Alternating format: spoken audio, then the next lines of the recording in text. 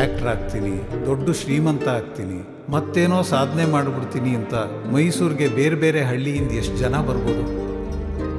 ಇನ್ನು ಬ್ಯಾಂಗ್ಳೂರಿಗೆ? ಅದು ಬಿಡು ಬಾಂಬೆ ಕತೆ ಹೇಳಿ. ಬಾಂಬೆಗೆ ಎಷ್ಟು ಲಕ್ಷ ಜನ ಬರ್ಬೋದು ವರ್ಷಕ್ಕೆ?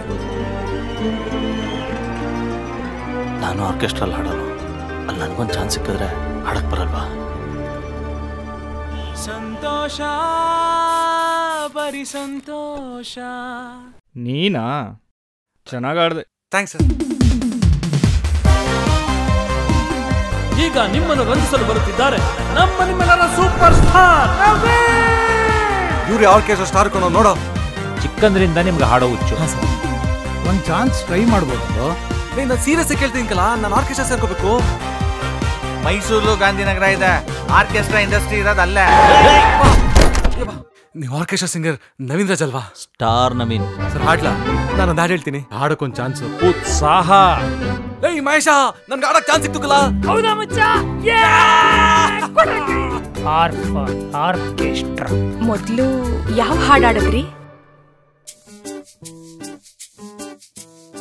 ಆಕ್ಚುಲಿ ನಾನು ಫಸ್ಟ್ ಸಾಂಗ್ ಆಡಿದ್ದು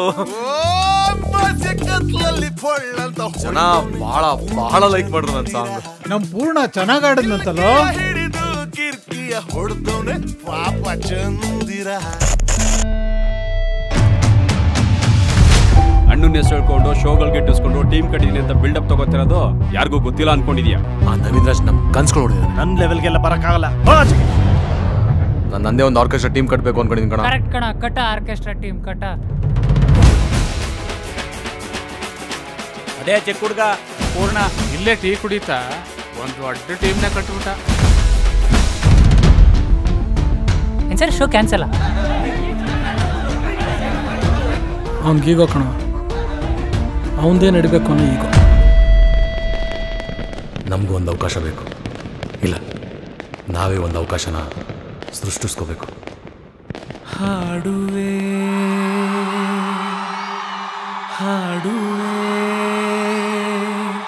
ನಾ ಹಾಡು